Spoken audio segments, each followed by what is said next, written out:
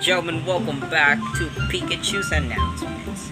And I know it's been so long since I made one, and that's why I'm doing it now.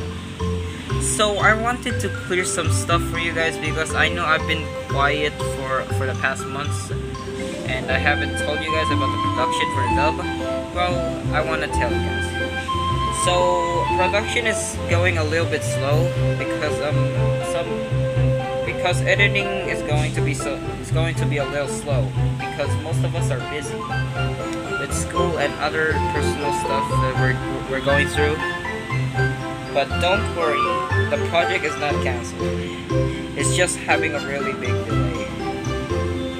And also since since it's delayed, I'm planning on releasing the auditions for Special Chapter 1 a little early.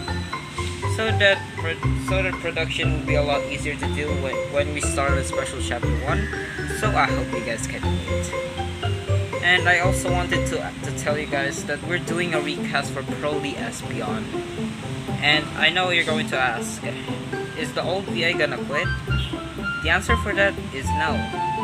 He still voices Flare the Flareon. And he agreed with the idea of getting a new VA. So yes. I hope that clears off some stuff. And also before before I before I end the video, I want to tell you guys please join my Discord server because that is mostly where I announce stuff like dub announcements and other stuff too for my YouTube videos. You can you guys can join in the description below. And also please check out my other social links, like and subscribe. Thank you so much everybody.